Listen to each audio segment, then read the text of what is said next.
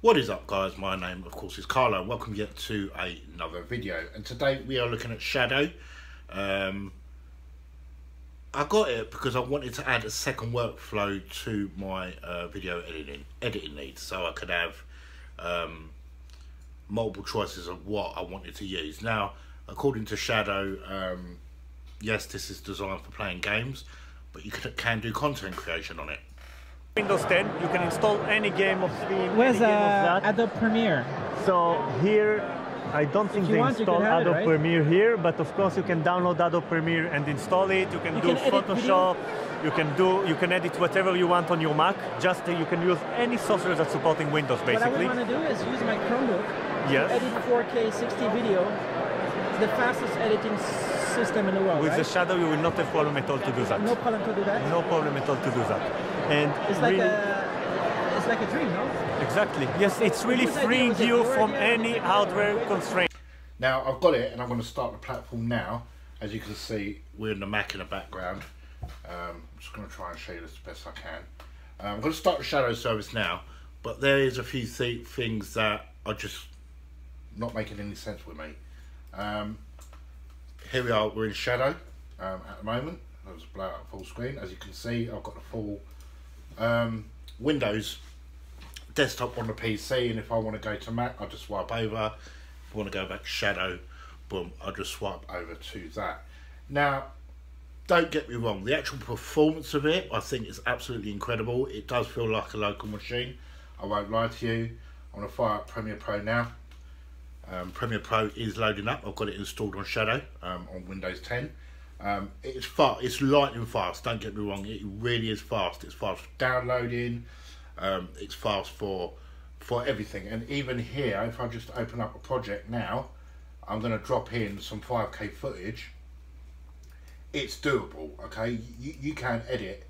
Um, I've got some raw 4K footage on here. I'm going to download. I'm just going to drop that into the timeline now. As you can see, I've got it there on full, and then we're just going to play it back. And as you can see, um, it is a bit juddery. Um, go to half res, um, works absolutely perfect.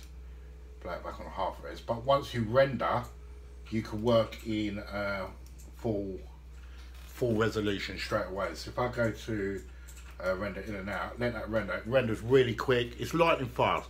The actual service is absolutely phenomenal. If you're using it for playing games, you're laughing. I mean, this feels like a normal PC to me. It feels like a Windows 10 PC.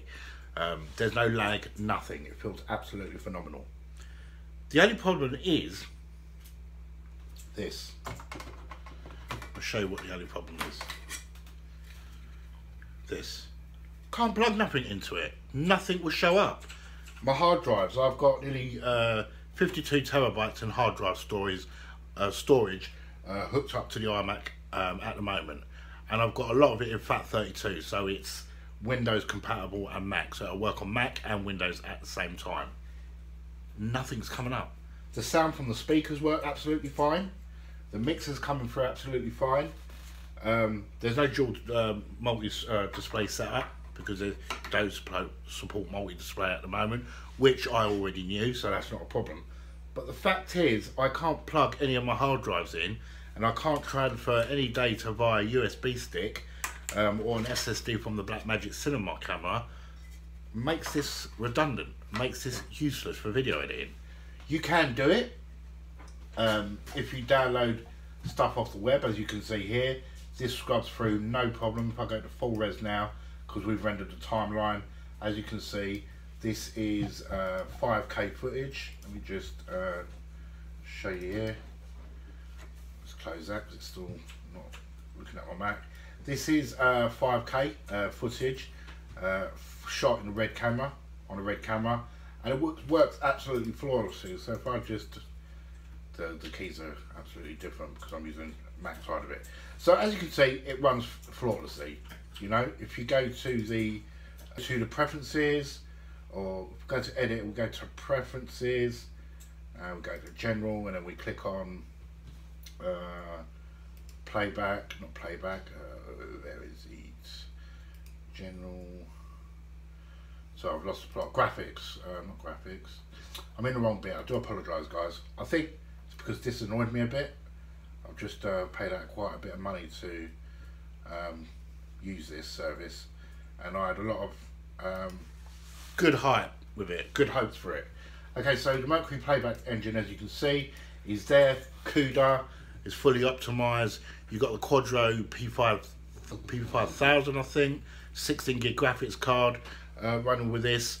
It's a beast, right? It does exactly what um, the power wise and the performance of the service is exactly what Shadow say it is. Um, so running video games on this thing is going to be like lightning fast. It's going to be amazing. But they did say, and in one of the videos, they did say you can edit on this, um, which you can. The only problem is there's no hard drive support. You can't use any of your things. You can't plug. I can't plug my SSD in for my um, Blackmagic Cinema camera because it doesn't recognise it. As soon as I plug it, plug it in, it'll recognise it on the Mac over this side, but it doesn't recognise anything on the shadow side, which is confusing. So, yes, for video games, it's going to be incredible, but unfortunately for um, video editing and, and, and content creation, it's going to be pretty obsolete. It's going to be pretty useless because um, you can't transfer your data over to it, uh, which is crazy. Not only that, you don't get Windows Professional, you get Windows 10 Home, which does limit you in, in quite a few things.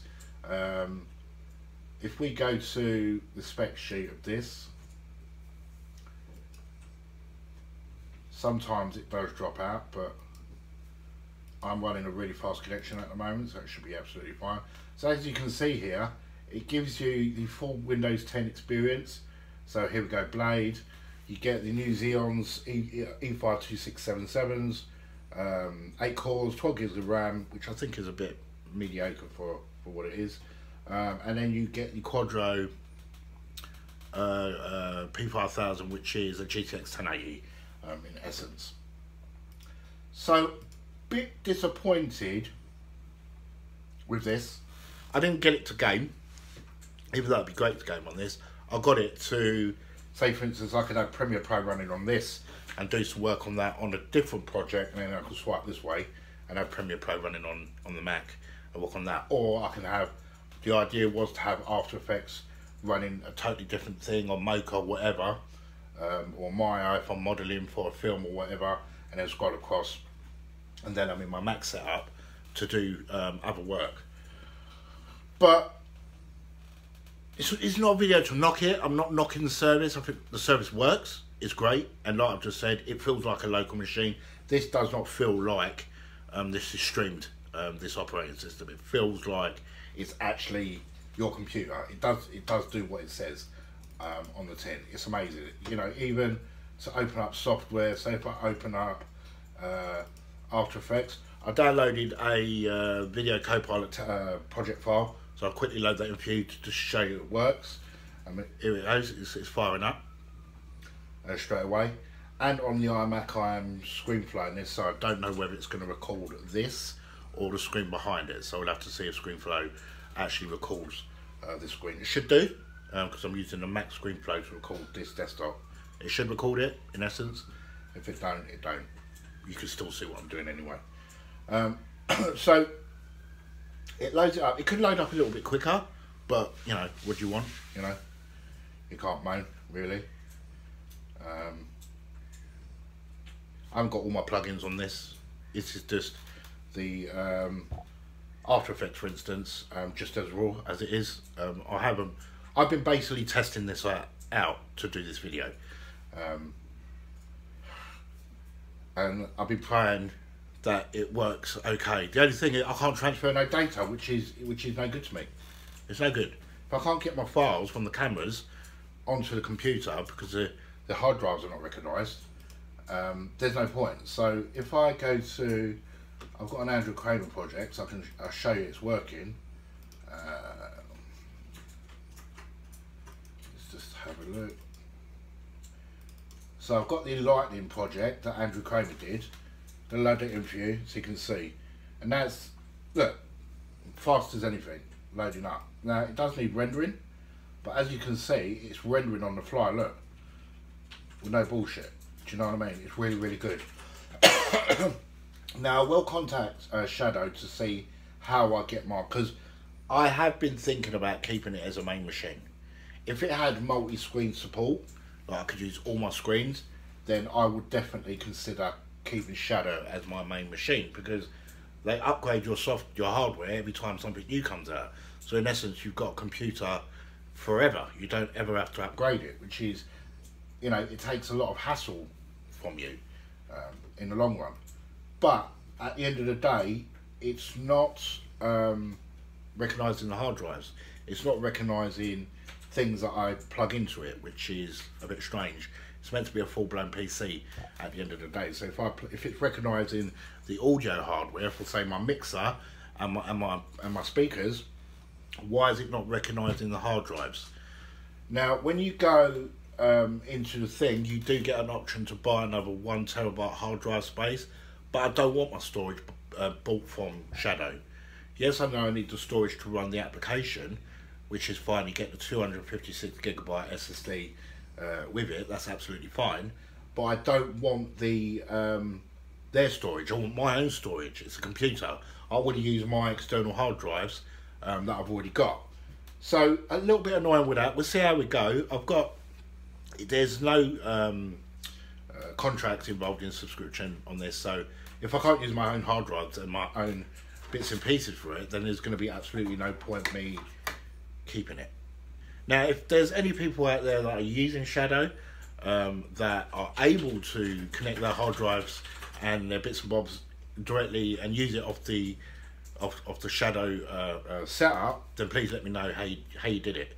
Um, but in the long run, brilliant service, but without me being able to transfer my camera data and my, and my audio data onto the system, there's no point. Uh, there's nearly no point, which makes me really, really sad because, excuse the pun, I know there's lightning on the screen, but this is lightning fast. So yes, that's it. That is my direct sort of opinion on Shadow. Um, great for gaming, absolutely amazing. You're going to play all the latest games on it, absolutely fine. I would go with the one terabyte option that you've now got for two ninety five uh, UK money. So that's two pound ninety five for an extra one terabyte a month, um, and it's twenty seven pound uh, for the service. So twenty seven pound a month for the service, plus the um, three pound uh, a month for the one terabyte storage. Pretty pretty good. If you're just playing games, I reckon it's it's absolutely excellent because you can. I'm sure Shadow will update the storage um, as they go along. But as far as using it for content creation and video editing, so on and so on, it's not going to be any good, um, unfortunately, uh, which is quite sad. Gaming's different because everything's digital with gaming. You can just download your stuff from Steam directly into it. You can download it from everywhere. You know, Fortnite you download directly digitally to your to your excuse me virtual hard drive. But when it comes to getting data like video files and putting it onto it, it doesn't recognise your hard drives. It just doesn't pick anything up, um, which is mad. So that is it, guys. That is my view on content creation, video editing with Shadow. You you can't do it because you can't put your hard drives on it, which is a bloody shame. If they do in the long run fix this problem, then I will definitely go back with them without a shadow of a doubt. But until then, um, for video editing, unfortunately, it's not for me. Even though my iMac can do everything this can do, um, it would have been nice to have a second computer built into the computer I've already got so I can do some um, Maya work, uh, so on and so on, whilst um, editing um, in on the Mac because I do all my editing on uh, Adobe Premiere Pro on the Mac. Um, and it's not going to use the resources of the actual iMac itself. It's going to use the resources of Shadows. It's going to use the Shadows hardware, which would have been absolutely fantastic. So as always, guys, thanks for watching. If you have enjoyed this video, smash that like button. And as always, definitely catch you in the next video. Ciao, ciao.